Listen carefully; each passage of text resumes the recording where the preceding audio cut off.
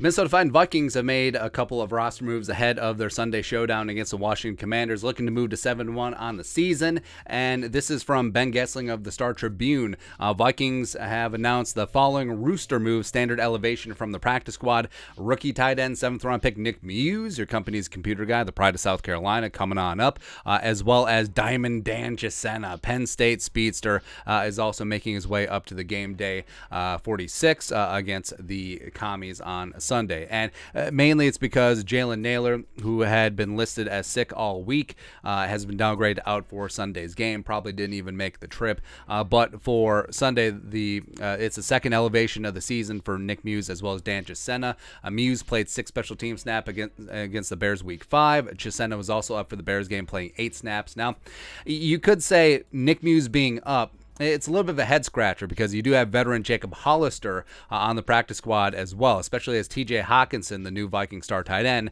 uh, has only had three days of practice. Maybe it would make sense having another veteran to go with Johnny Mundt in this spot. But also remember, Hollister has already been called up twice. Uh, he was called up week six against the Dolphins as well as week eight against the Cardinals. And you only have three elevations uh, for practice squad players before uh, they have to be added to the 53 man roster if you do want them active on the game day 46. So that could be a piece uh, that that could be part of that. Also, I mean, maybe I mean Mundt is probably going to start, but maybe it's a sign that Hockenson is actually going to get some run because I don't really see them uh, really integrating Nick Muse into the offense. Yeah, he'll play some special teams uh, and whatnot, but.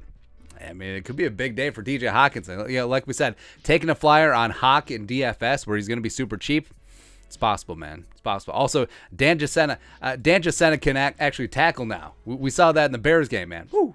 So excited to see like Chisena, Kris Boyd out there as punt gunners getting after man. Uh, but hopefully we're not punting very much on Sunday.